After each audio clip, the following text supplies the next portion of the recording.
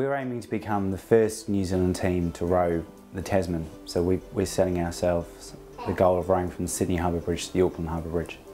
So there's five of us. Uh, Rob, Rob Hamill, who's the director, sort of. He's not rowing, although he recently expressed interest in rowing if one of us drops out. Two guys who row actively, and uh, but Nigel and Jamie have particular um, experience in sailing, so which is going to be really handy. Balancing family and rowing is probably, uh, and preparation is probably the hardest thing for me. And so, you know, I've always got to be aware of the, the impact on them. My wife's actually encouraged me, she's, she's helped me take the year off work.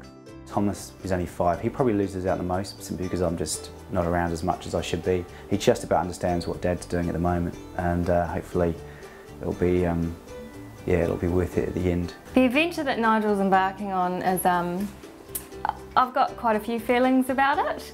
Um, the first one is that I'm actually relieved that he's actually finally doing it. But you know, I'm, I'm just really proud. It's awesome for someone, A, to even think to want to row across the Tasman, you know, and do the whole sponsorship thing. That's really hard. Um, it's not your profession, but maybe it should be.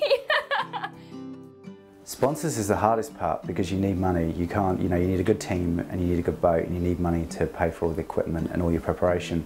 There's more than four guys rowing in the boat. There's, there's probably, you know, an extra 200 people on the outside that help you get to where you want to go.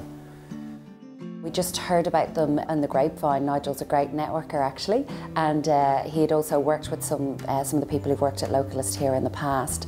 So our values here are real local fanatics and we just thought there's hardly anything more fanatical that we could think of than uh, rowing across the Tasman in a boat with three other blokes. So when Nigel said he needed a website we thought this was the perfect opportunity for us. So we're building a website so that all of Nigel and the rest of the team supporters can get behind them. We had a quick meeting with Nigel and uh, he pitched us quite hard on, on the voyage. We heard that Rob Hamill was involved as well and we thought, you know, a big name like that doing this, this is going to be successful and that's what we're about to is success. So we thought we'd line up with him. So supplying a whole lot of accessories like bilge pumps and that sort of thing. The real hard chandlery stuff that um, you need when you're doing this kind of thing. How am I supporting the challenge? Well, I've assessed all four members of the team um, I've worked to provide ongoing support to Nigel in his role as the leader and I've also done some work around assessing the personality of the team itself. Pretty obviously Nigel has to be uh, a little bit unbalanced to want to row across the Tasman. Um, I admire unbalanced people and people that are doing uh, different challenges I guess. So uh, he needed help uh, with the energy equation for the boat we admire people doing something different. It was pretty obvious we had to get in and do something. They, it's a great challenge um, to, to the Trans-Tasman and uh, I find it very interesting and I'm offering a, a tailored chiropractic uh, plan and offering also regular stretch sessions to help them um, stay mobile and move well on the boat. Simple as that. The team wants to row the Tasman because it's, it's, it's purely selfish thing. You just want the adventure and wanting to achieve something that is a little bit out of the ordinary, I guess. I guess the thing for me is that, um, I mean, probably while it's been my, my desire for the longest, these guys want to do it as much, if not more than I do. That's, it just shines out to me that it's not just my dream, it's their dream as well.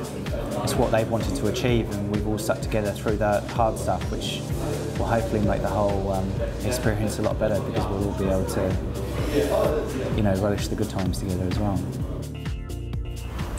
Any last words? Well, yeah, that's a, um, it's a pretty average day actually today. Quite a lot to do. There's never enough hours in the day and you can't afford to lose a day. Um, day lost is a day wasted. But I think what it shows is that it's not just four guys in a boat.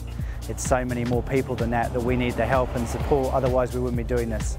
Gallagher and Localist are, you know, are real big supporters, but all these people we've seen today are just essential to make it all happen.